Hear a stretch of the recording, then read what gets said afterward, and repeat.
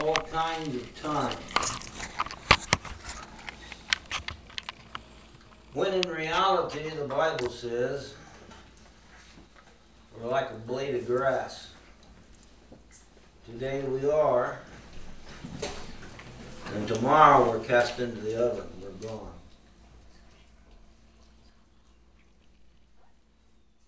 Like a puff of smoke. But we are to occupy and make sure that we use the time we have correctly. Every one of us have been called.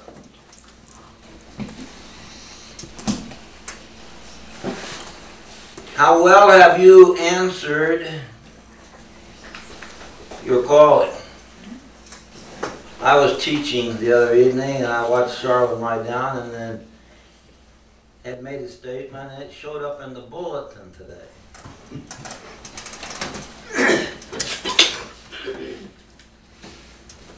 Have you surrendered truly all? Or is there still reserve in your life? What does God have to do to, I hate to use that term, rattle your cage? To get you to pay close attention.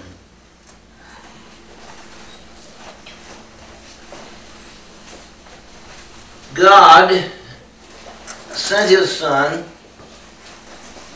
to die for you and I, to walk and to live in the manner in which you and I are to live.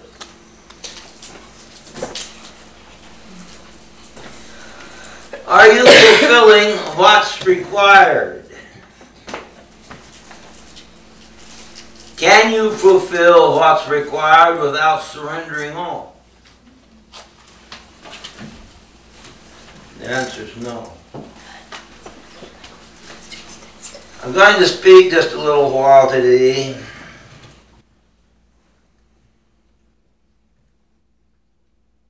Jesus made a call to his disciples.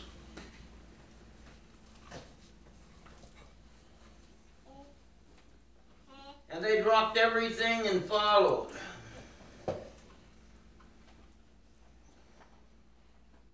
But when the course changed and took a direction they didn't like, they went back to their nets.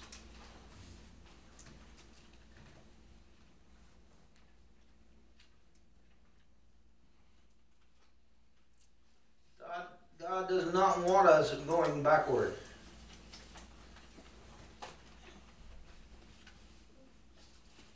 He wants us on a steady forward progress.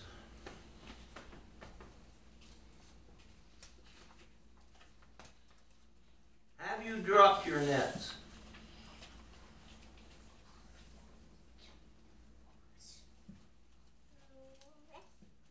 Or does the nets and the holes of the world still have a hold?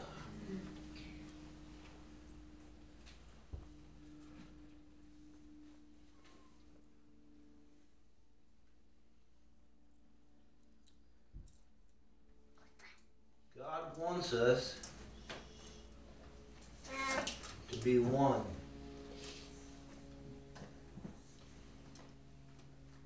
Can we function as a body completely in unification without being unified with one another?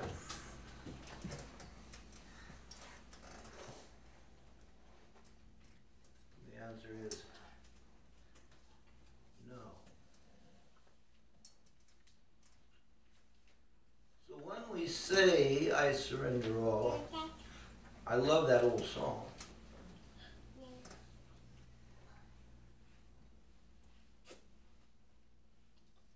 The truth of it is still in it. it hasn't changed.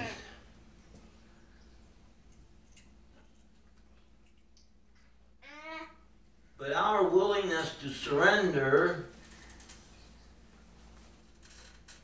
belongs to us each as an individual.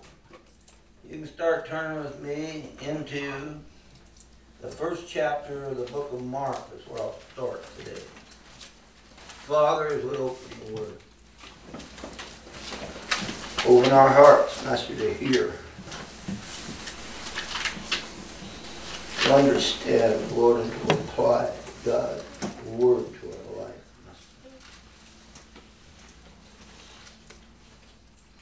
Lord, that in the word, Lord God, we make it life and not death, Master. We make it blessing, Lord, not curse. Touch every heart that's here today, Master, by your word. Master, let us go, Master, with the truth. Master, full commitment, Master, updated on today's date. Touch every life, Master, by your word. In Jesus' name I pray. Amen. It was said in the bulletin we need to examine ourselves. That examination needs to be done daily. For the foundation of the Word in our life has got to be upheld daily.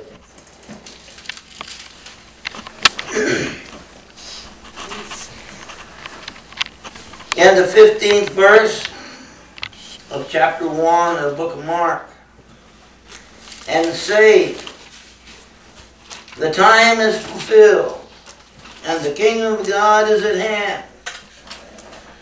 Repent ye, believe the gospel.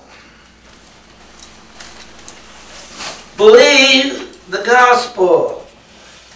That's red letter because it was Jesus speaking.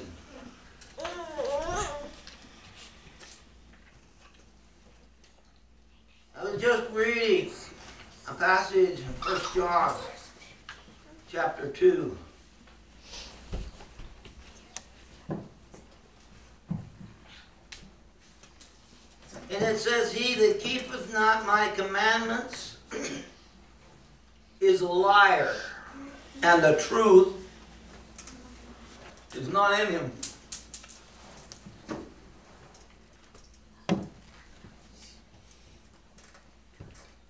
Are you committed to God in the point that you are putting the commandments of God into full use in your life?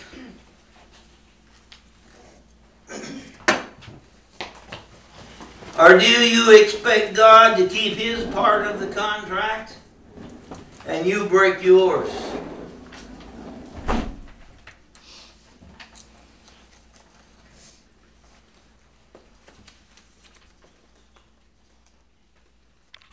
The time is fulfilled.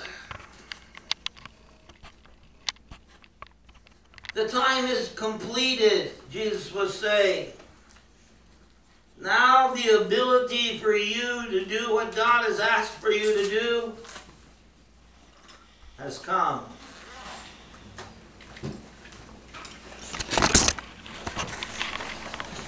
You can fully surrender.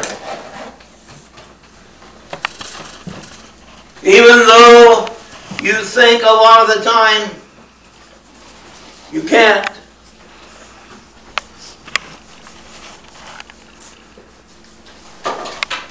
We don't surrender because we want to maintain